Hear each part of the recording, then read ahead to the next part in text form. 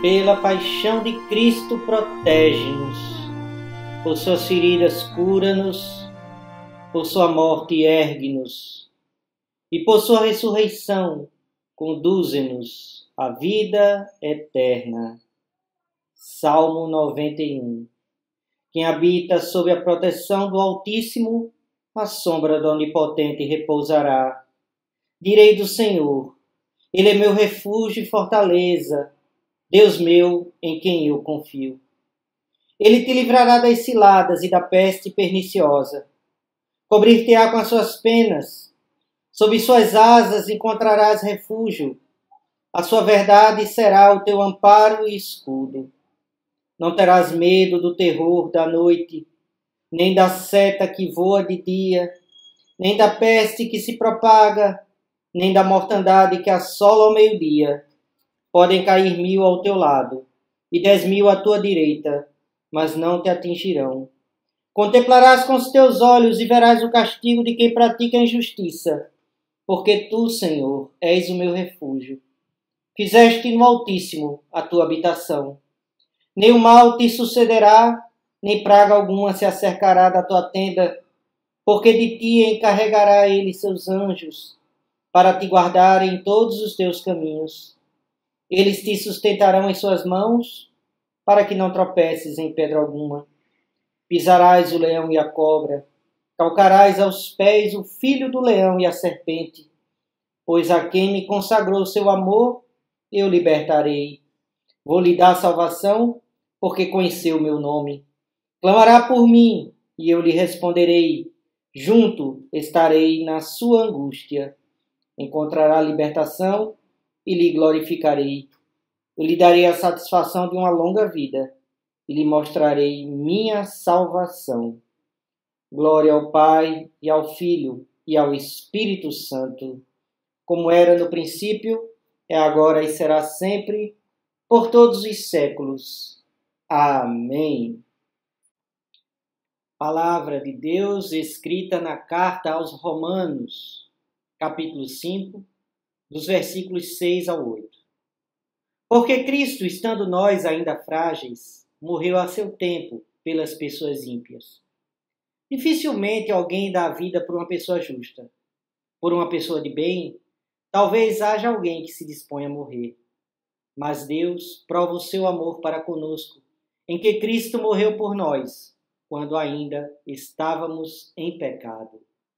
Palavra do Senhor. Demos graças a Deus.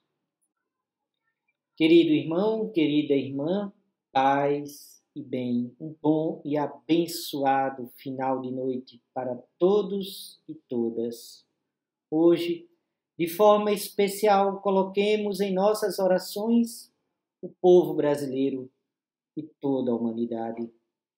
Lembremos das pessoas que sofrem e atravessam grande tribulação. Lembremos das pessoas enfermas Lembremos das famílias enlutadas. Oremos por justiça social, por justiça social que produz a paz. Oremos por nós.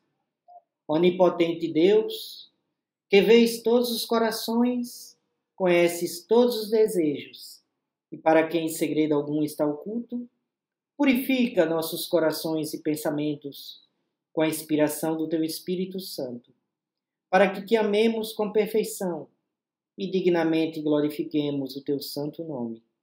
Por Jesus Cristo, nosso Senhor. Amém. Oremos pela justiça social.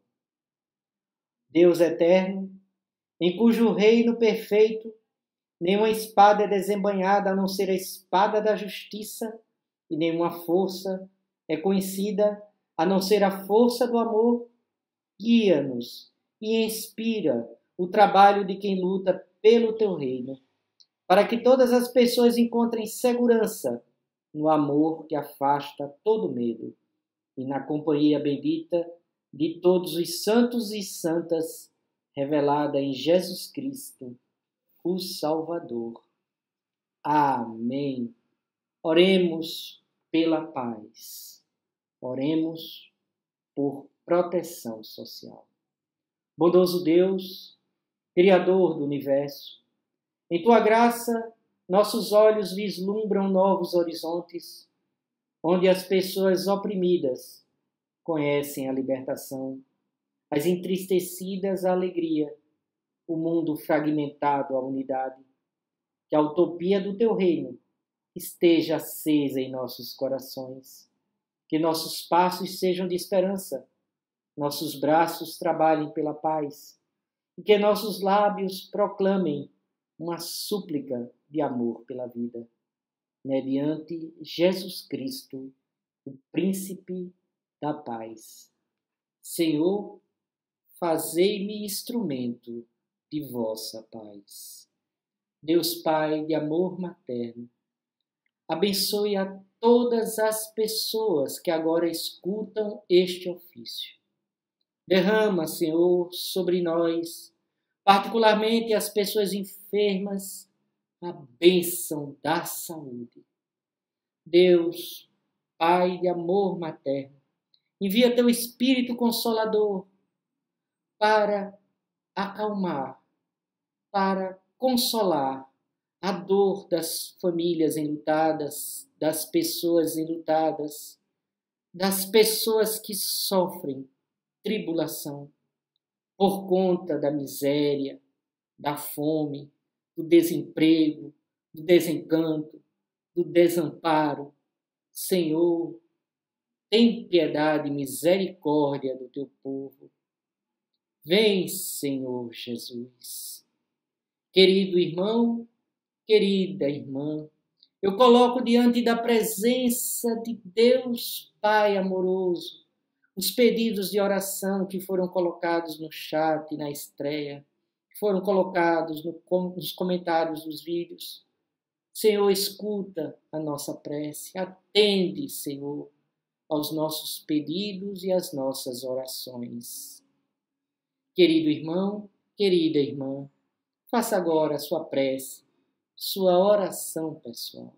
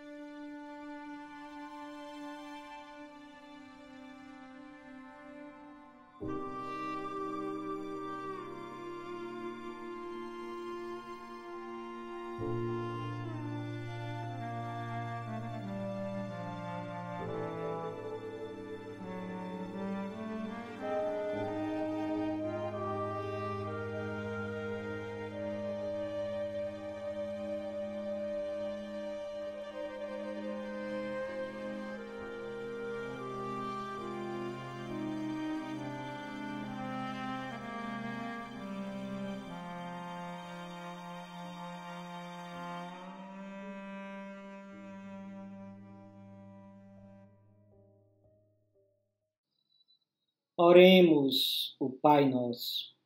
Pai nosso que estais nos céus, santificado seja o teu nome, venha o teu reino, seja feita a tua vontade, assim na terra como no céu. O pão nosso de cada dia nos dá hoje. Perdoa-nos as nossas ofensas, assim como nós perdoamos a quem nos tem ofendido.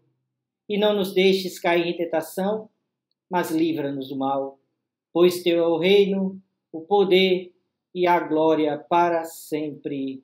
Amém. Visita-nos nesta noite, ó Senhor, e livra-nos das ciladas e perigos. Que teus santos anjos habitem conosco para nos preservar em paz e segurança. Que, nas incertezas da noite, tenhamos nossas vidas firmes na fé e confiemos-nos inteiramente em tuas mãos para que faças florescer em nós a vida e a saúde. E transforme os desertos de nossas vidas pessoais e familiares em mananciais de vida, amor e alegria. Por Jesus Cristo, teu Filho, nosso Senhor, e na unidade do Espírito Santo. Amém. Querido irmão, querida irmã, receba a bênção de Deus o Deus de toda graça, que nos chamou à sua eterna glória em Cristo Jesus, fortaleça-nos, firme-nos e proteja-nos em nossa fé. E a bênção de Deus Onipotente, Pai, Filho e Espírito Santo, seja conosco e conosco habite eternamente. Amém.